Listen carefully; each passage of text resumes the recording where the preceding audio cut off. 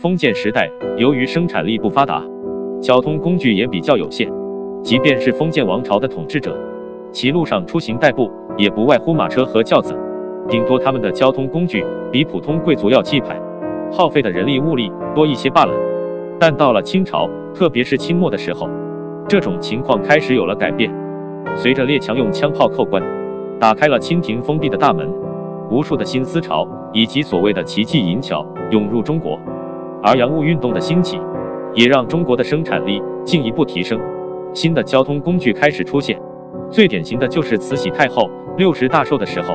袁世凯送她一辆花费万两白银打造的宾士老爷车，而李鸿章也曾邀请慈禧乘坐一新式交通工具，还闹了个大笑话。李鸿章是晚清四大名臣之一，与曾国藩等人齐名，在镇压太平军以及捻军时立下赫赫功劳。后来投身于外交以及洋务运动，为了挖煤开矿，满足工业所需，李鸿章奏请修建铁路，但此举遭到了洋务派的激烈反对。他们认为修铁路会破坏风水龙气，火车的声音更会惊扰不远处的清朝皇陵。不得已之下，李鸿章打通恭亲王和醇亲王的关系，得到默许，悄悄修建了一条铁路。但即便这样，火车还是被迫用骡子运作了一年多。为了取得当时最高统治者慈禧太后的支持，李鸿章让人修建了一条长一千五百一十米，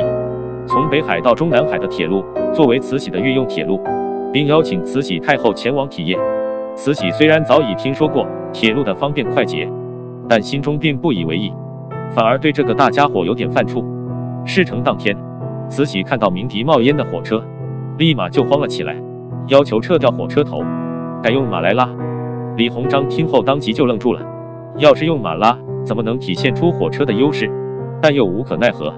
只能临时套上马车讨慈禧欢心。后来随着慈禧乘坐次数的增多，再加上醇亲王和恭亲王两人在旁进言，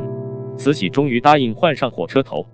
体验到了火车便捷舒适的慈禧，终于对这个新的交通工具有了好感。几个月后，慈禧正式颁布了新建铁路的文件，洋务运动才得以提速。正是由于慈禧等顽固守旧势力把持朝政，清朝错过了最佳的发展时机，